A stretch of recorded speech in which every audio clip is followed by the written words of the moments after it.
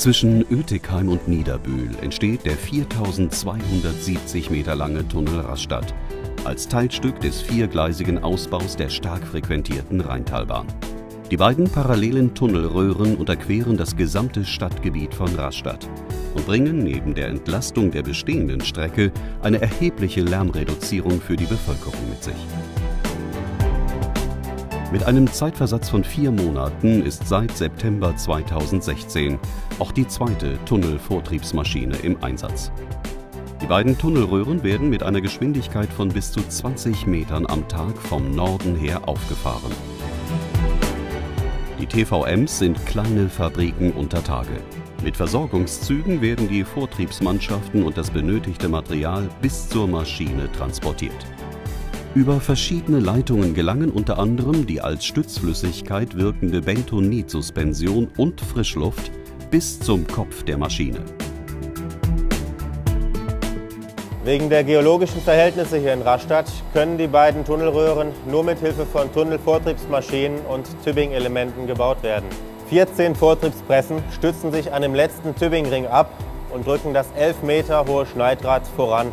Sobald der gewonnene Abstand groß genug ist, stoppt der Vortrieb und der nächste Ring aus Tübing-Elementen wird eingebaut.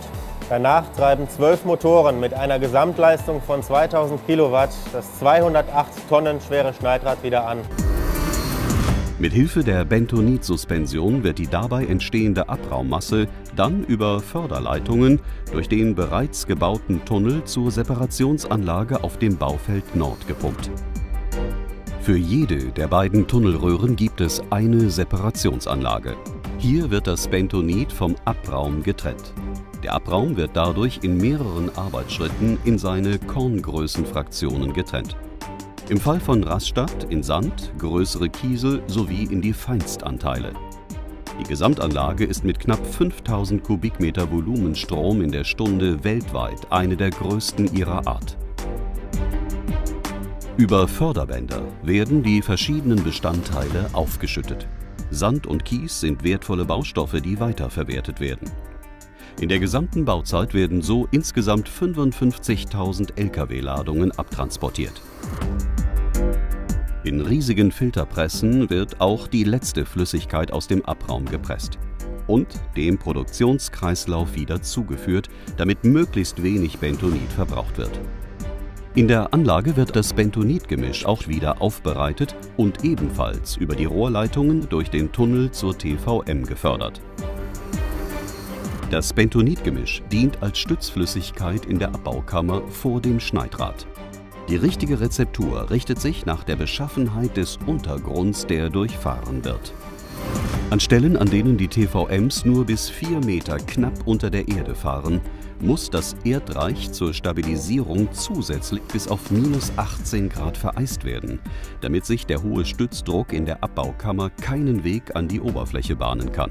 Beim Tunnel Rastatt ist dies in zwei Bereichen der Fall. Einmal in der Federbach-Niederung. Hier wurden die Vereisungslanzen dachförmig über dem Verlauf der Tunnelstrecke ins Erdreich getrieben. Mittels Thermostaten an den Vereisungslanzen kann die Temperatur über die gesamte Vereisungsstrecke genau kontrolliert und gesteuert werden. Sobald die TVMs den Bereich passiert haben, wird die Vereisung wieder rückstandslos aufgetaut. Weit komplizierter ist die Vereisung der Strecke bei der Unterquerung der Rheintalbahn. Da wir hier die bestehende Rheintalbahn unterfahren, müssen wir einen ringförmigen Vereisungskörper mit einer Länge von 200 Metern und einem Durchmesser von ca. 13 Metern um die zu durchfahrende Tunnelstrecke aus herstellen.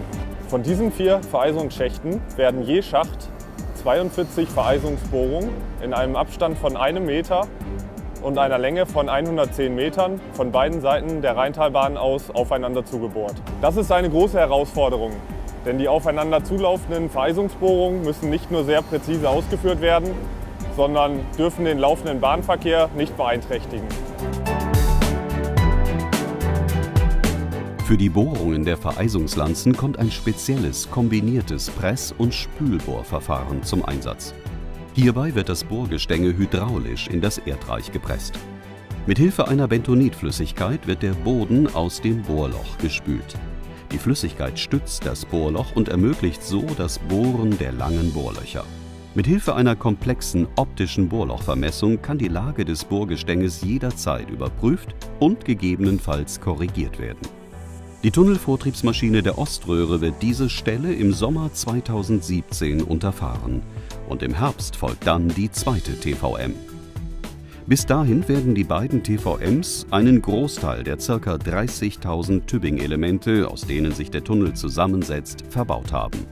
Die hochpräzisen Betonfertigteile werden von der Firma Max Bögel im Fertigteilwerk in der Oberpfalz gefertigt und per Zug nach Rastatt transportiert. Jede Woche kommen in der Regel vier Züge mit 161 Tübingen-Elementen in Rastatt an. Per Lkw geht es dann zum Zwischenlager auf dem Baufeld Nord.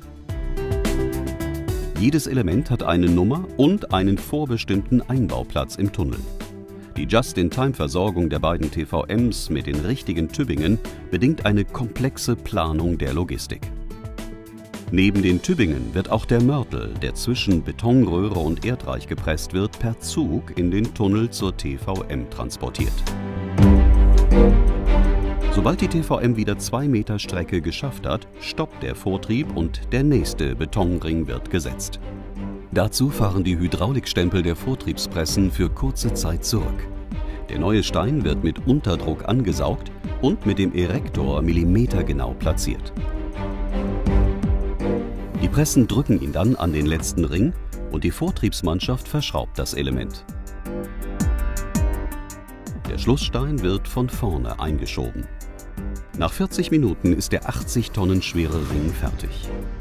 Sobald der neue Ring gesetzt ist, fährt das Schneidrad wieder an und der Vortrieb geht weiter. Über diverse Überwachungseinrichtungen ist der Schildfahrer immer über die genaue Lage der Tunnelmaschine informiert.